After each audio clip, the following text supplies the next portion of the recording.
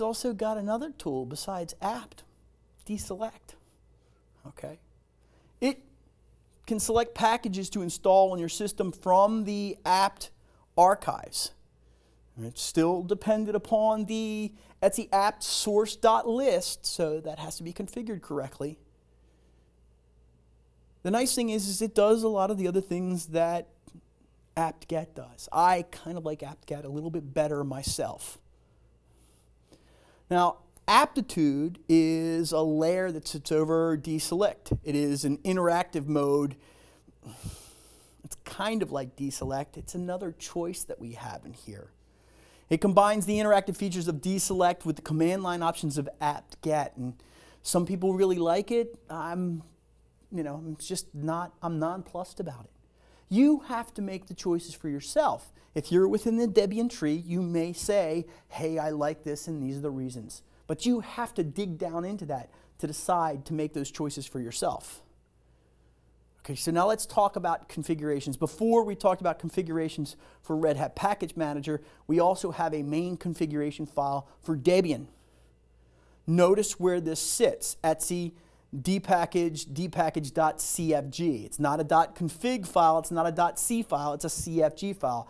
That's their extension on the end, it's no big deal. It's still readable by you. Notice that it also can be in your home directory, that's that tilde there.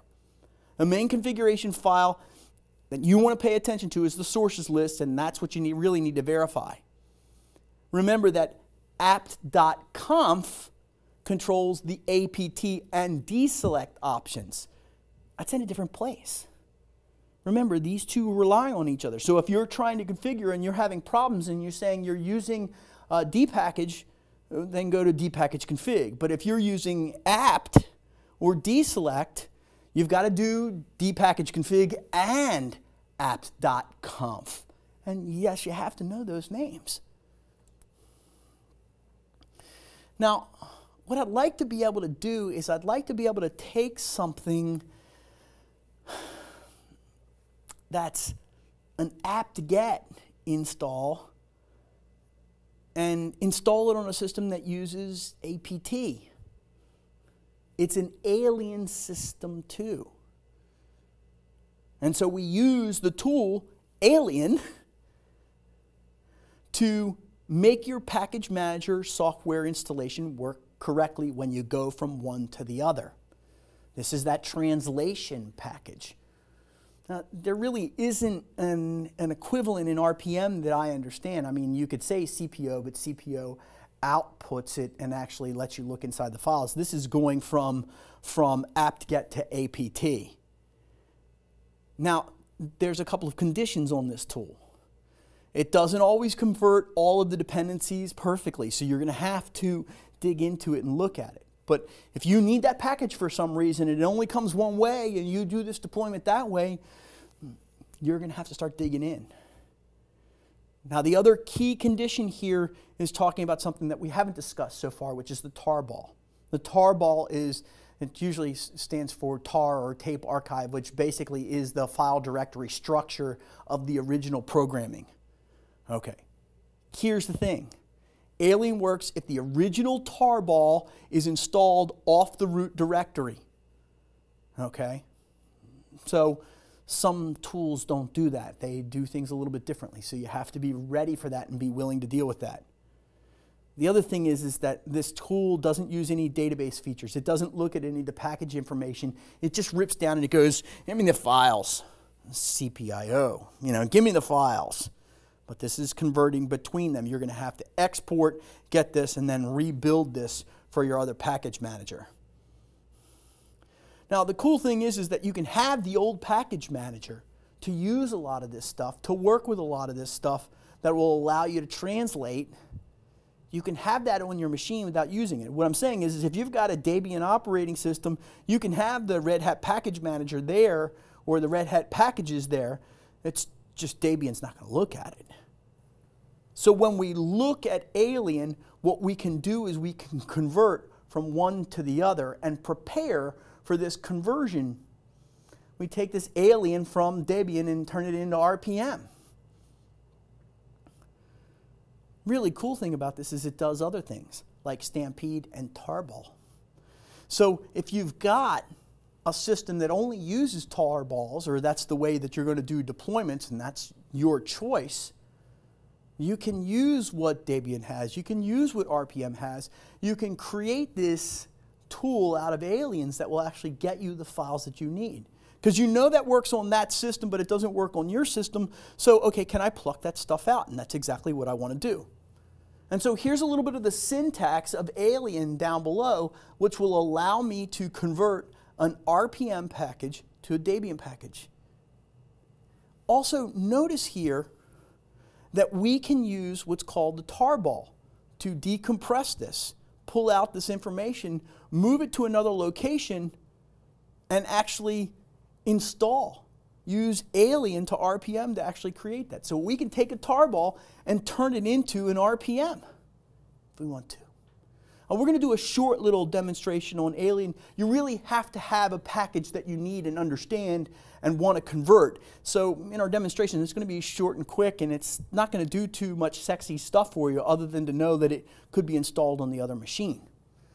I suggest that you take a little bit of time since you have two virtual machines. One of them is RPM based and one of them is Debian Package Manager based. I suggest that you actually do an export, export and copy those files from one machine to another and see if they actually install using Alien. In other words, converting a package.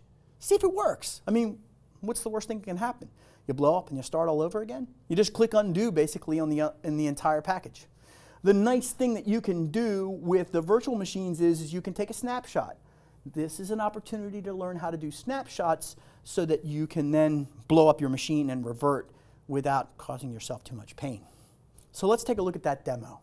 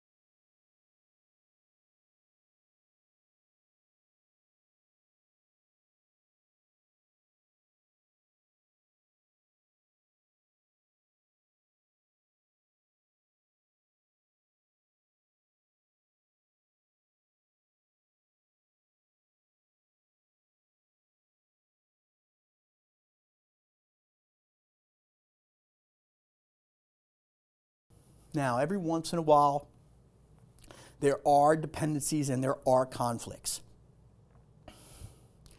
You've got to be ready for them.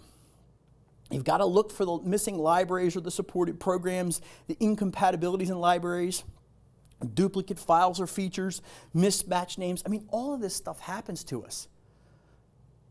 Be ready for it. I will tell you, that the first time that I took the LPIC exam in 2003, when I did it then, by the way, I failed both exams miserably the first time, just because I took them to see what was on them. And there was a lot more command line stuff than there is now, 10 years later. But what I knew about Linux at that point was dependencies were killing me. And it seemed like I spent all of my time dealing with dependencies. 10, 11 years later, a lot of that's changed and it's a lot more stable at this point. But there's still some work to be done for us because it's open source and we have to pay attention to what's going on. So take a little time to understand dependencies and things that fail and conflicts that are out there and don't get frustrated. Just roll back and say, hey, look, the really the value in this is the support cost and not the actual software because the software is free.